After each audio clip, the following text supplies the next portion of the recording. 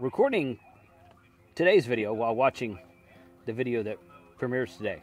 So, is it day 20 or is it day 23 or 24? What is today?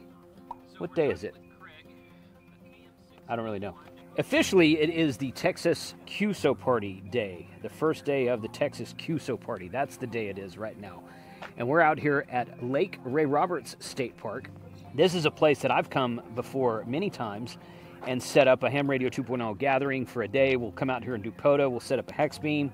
We'll hang out for the day and activate the park and let new people sit down. We've talked to several people during those events who are either not licensed or they're technician and we let them sit down in front of a radio, do some HF, do some parks on the air, and guess what? They go home and start studying.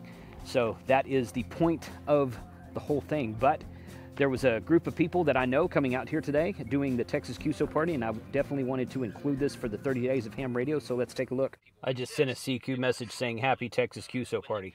I'm guessing that's not going to be the last time I do that today. with all the fun I've been having with VHF, with the contest station, with the two meter sideband net, some simplex, one of the, the 6.52 simplex video is one of the most popular videos in this 30 days of ham radio series. I decided to bring my 2 meter 440 Yagi out here. There's two or three people out here with HF stations, and I've got my HF stuff in the truck. I could set it up if I wanted to. But I decided to bring the 2 meter 440 Yagi out here and see if I could actually make some 2 meter sideband contacts from the park. Right now, this is setting up maybe, I don't know, maybe about 30 feet right there. That, that, uh, that mast will go up higher than that. There's two sections at the top that I did not put up. So it probably go up another, and there's one section at the bottom. Yeah, it's probably maybe 30 to 35 feet somewhere in there. It's a 50 foot mast. So, so far no luck on two meter sideband. I'm gonna keep trying. I spotted myself on the POTA page. Of course, this, there's a high Q on this uh, Yagi antenna, and it's basically pointed south right now. We're at Lake Ray Roberts State Park, which is a little bit northeast of Denton. And if you look on the map, we're almost exactly due north of where of mid cities in between Dallas and Fort Worth. So I figured if I point south, I got a semi good chance trying to work somebody. I sent an email to a couple people I know, and I'm like, hey, get on two meter sideband 144.200 and see if you can work me out here. So we're going to try that.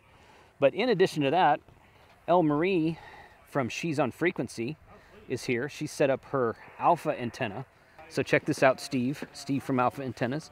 She's got her hex antenna set up here and she's working 10 meters because she's a technician. She's taking her general test tomorrow. We're going to talk to her in just a second. Paul, K5VOP from the Prep Ham Paul channel, he set up this chameleon. This is that antenna that Bill from Hem Radio Tectonics had on his RV at, I'm pretty sure, I'm pretty sure this is the same antenna he had. But this is just a massive antenna, and he says it works pretty well. He's like, it, it doesn't work as uh, NVIS as well as he wanted it to, but it does work. And uh, he's been happy with that. He's trying some 15 meters right now on that antenna. And then over there, Michael, K5, KD5, K, KF5 LDJ, KF5 LDJ, I believe, he's doing 20 meters. And he's on this Wolf River coils over here, which we're going to walk over here and look at this show you all the antennas first. He's on the Wolf River coil here, and he's using that on 20 meters right now. And uh, he's probably made more contacts than anybody just because it's 20 meters. There's more people on 20 meters. There are five state QSO parties happening today. Plus, we're in a park. We've heard some guys just calling CQ POTA from wherever they are. So we've we've heard more we've heard more POTA stations on the air today. And if it's officially a Saturday, so there's a lot of POTA stations out on Saturdays typically. But with five QSO parties, there's a lot of people on the band today. And uh, Elle, she's made some contacts on 10 meters, which is good. I don't know how Paul's doing on 15 meters, but we're going to check this out real quick. Make any contacts? No, I've, I've gotten like bits and pieces of call signs, but uh, Delta Papa, that's that's Germany, I think. Um, still learning on how to capture That's okay. call signs. That's good. I think it's Delta. Oh yeah. It's either this or this. So GN or GPN? Yeah, it's yeah. one of Okay. those. All right. so It's a cool. Uh, it's a cool radio setup you got there. It's not mine, but Oh.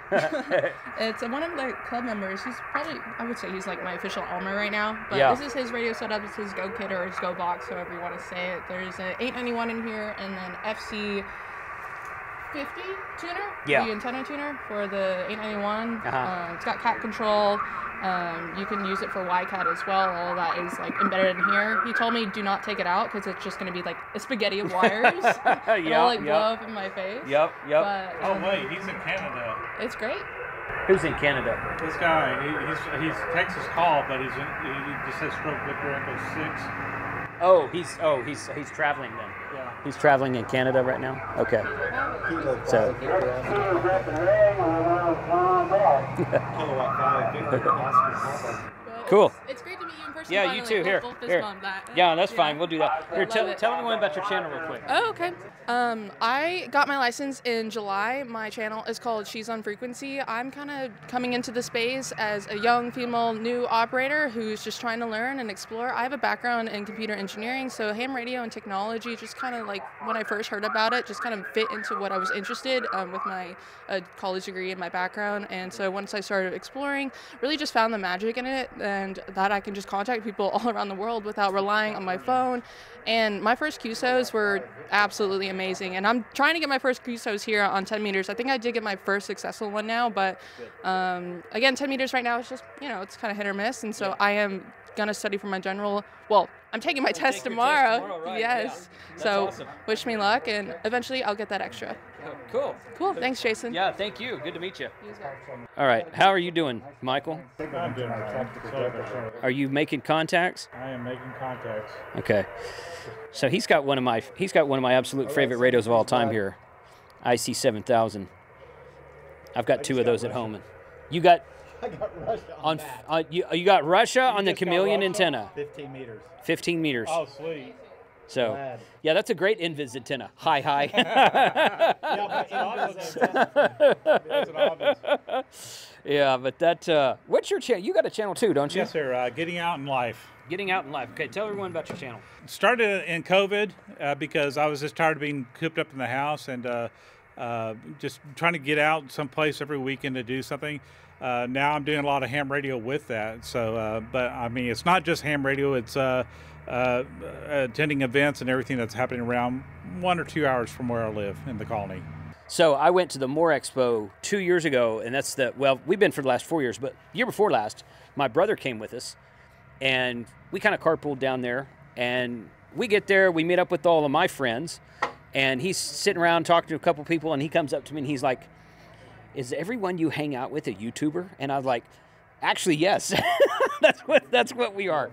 That's that's that's what we do. So yeah, we're ham radio guys, but uh, but yeah, yeah, we all hang out with YouTubers. But I mean, there's a lot of guys that hang out with us at the at the ham fest that would not that are not YouTubers. But that was a funny question. I always remember that. And since then, my brother started his own channel too. He spent a weekend at an Overland show with a bunch of YouTubers, and then started a channel of his own. So that uh, that's fun too. Here's Paul's setup here. Oh, you're out in Maryland. Never mind. You're a three. What am I thinking? Uh, you're. Uh, I'm in Denton County here. If you're doing the Texas QSO party, Denton, D-E-N-T. All right. We've also got a park as well. Three zero five one. That's great. Yeah, I'm trying to do a POTA and the Texas QSO party. So uh, great signal here into Texas.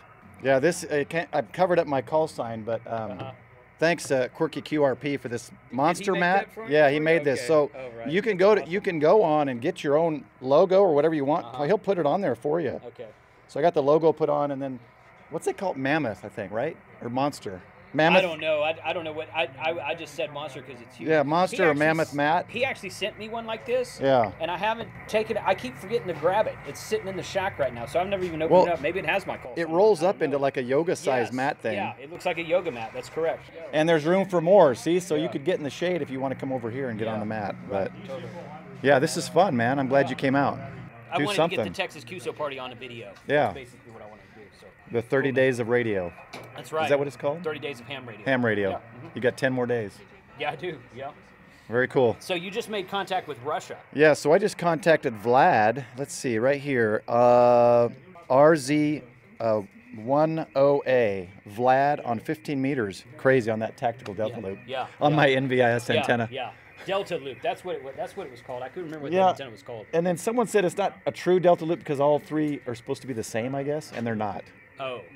So I don't know. It, It works. works. It works. I don't care. I got Russia. That's all that matters. Texas to Russia, it works. Yeah. So we're at Ray Roberts. I love it. This is one I come I come to most often. It's, it's the closest. So Good. yeah, yeah. awesome. Thanks, man. All right, guys, 73. Yep. Yeah. So now we're gonna try to do some. I'm gonna sit down and try to call some CQ on two meter sideband again because I did make some FM contacts, even though this sucker is hung horizontally. I did some uh, 6.52 contacts on it. It's pointed south right now. Pointed it north. Talked to a guy that was driving up around Pilot Point, Texas. And the wind's picking up now. I hope I may have to lower it here in a minute. But it did work. It, you get you lose a little bit of dB gain when you talk uh, horizontal to vertical because that guy was on a vertical intent on his truck. But um, it worked. Uh, Jason, when you're done, W6MDI. Oh gosh. no, that was uh, D- uh, Dick from down there where I live. Uh, D- WA6MDI, uh, you're loud, man. Uh, 5'9". Uh, roger that. You're 5'9 also. Uh, Echo Mike 13, Juliet Alpha. You're sounding good. Oh wow, okay. I'm I, I'm pointed what I think is west, unless my compass on my phone is messed up, which I'm surprised I'm getting five nine down there to you. Oh, no, you're doing great. Uh, I'm, I'm running the little 705 and the uh, little uh, garage amplifier that you saw yesterday on top of the speaker. Roger, Roger, Roger. Okay. Well, I am running the uh, FTX1 uh, outputting 50 watts, no amplifier, and uh, you're the first contact I made on two meter sideband today. Oh, really? Okay. Well, I, put- I put a note on uh, the uh, the NTMS site, and there's a bunch of guys out running around. They're playing around at 10 gigahertz, and some are going to be on 2, 220, 432, and 1296. You don't have 432 with you, do you? Uh, actually, yes, I do. Yeah, I do have 432. I tried 432.100 earlier and didn't get anything there either. Okay, um, let me crank up my 70, 9700 over here, and I'll get over to 432, 100, and we can duplex uh, between here and there. Let me see if I can make it up here. You- Point your antenna south. Okay, Roger, Roger. Give me a second. Okay, I think uh, I think that's a little bit better there. KC5 HWB. Oh, man, yeah, you're sounding good. You're 5 and 9 on 432, 100. How, how about me, over? Yeah, you're about a 5.5 to 5.6 here at uh, 432 100 as well. Um, I'm, I'm only up about probably about 20 feet right now though. Okay, well, this is the uh, dual band antenna that, you, that we saw in the, in the video the other day. Yeah, Roger, Roger. Same antenna. It's good to know it's working. I wanted to bring it into the field to see if it worked at all, and I'm glad, glad to know it is. So thanks for being out there. CQ, CQ, CQ, CQ from Kilo Charlie 5 Hotel Whiskey Bravo.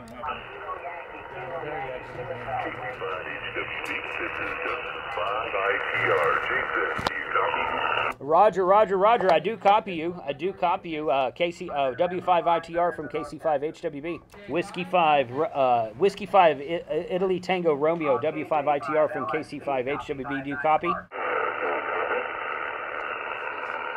Roger, Roger, Roger. I hear you. I hear you. Let me know if you hear me. Uh, KC5HWB. We did the Texas QSO party, pretty much. but it's it's one of those things where it's like, you know, there were people calling. I think we worked, I don't know, two or three stations QSO party, but there were a lot more people doing POTA than the QSO party. So we uh, worked that, worked POTA a little bit more than the QSO party. But I have a QSO party log. I will be submitting it. The purpose of a QSO party, I meant to say this up front. So the purpose of a QSO party in most states, in most states, is to contact as many counties in that state as you can. So if you're working the Texas QSO party, you're trying to contact as many counties in Texas as you can. If you're in Texas, you give them your county. We were in uh, Denton County this today, this time. So we would, if someone else was in another county, we'd log that. And if a person in it is in another state working the Texas QSO party, they would just log all the different counties they they contacted. Texas has about 255 counties, so it's uh, larger than most. But that's the purpose of it. It can be fun. It can be fun. There were five. There were four other states, five states total, including Texas, that were doing QSO parties today. So there's a lot of people on the air today. But this is Ray Roberts Lake State Park, which is uh, US 3051 on the POTA website. And we've come up here two or three times. I did a ham radio 2.0 kind of like a sponsored POTA event. Say, come up here, hang out, sit down, get on the air. I'm going to set up the hex beam, the Buddy Hex hex beam. And we've done that up here two or three times. It's probably been about a year since we did that. And that was really fun. People enjoyed that. I think that last time we had like 30, 35 people here, or something like that. It was pretty cool. And we'd stay here until 1, 2 o'clock in the afternoon until it gets hot. Then we'd tear down and go home. So it was just kind of like a half day event. Might be fun to try to do it at some point when it's a little bit cooler outside. But this is a neat park. I really like it up here. It's about an hour drive from the house, not bad at all.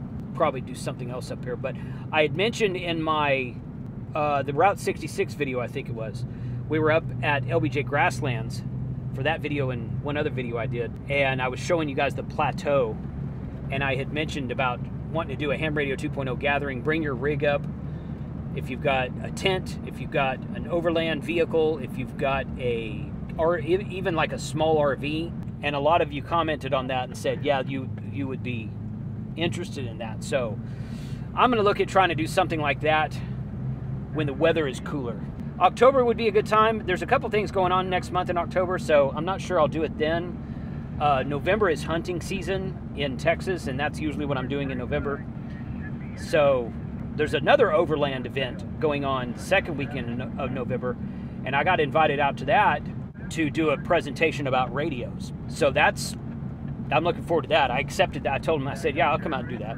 So we're going to be doing that uh, second weekend in October. Uh, yeah, second weekend of November. I'm sorry, second weekend in November. If you are, if you know where Bridgeport, Texas is, this that, that's an event that's going to be in Bridgeport, Texas.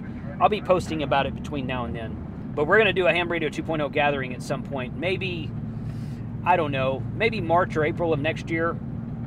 Got to plan it out, make sure the weather's good. I don't want it to be too cold, but also don't want it to be too hot. So we got a small window of nice weather in Texas. And, uh, and I wouldn't mind doing one in, another place either. Three or four two meter sideband contacts today, and one 440 sideband, a 432 sideband contact. That was fun.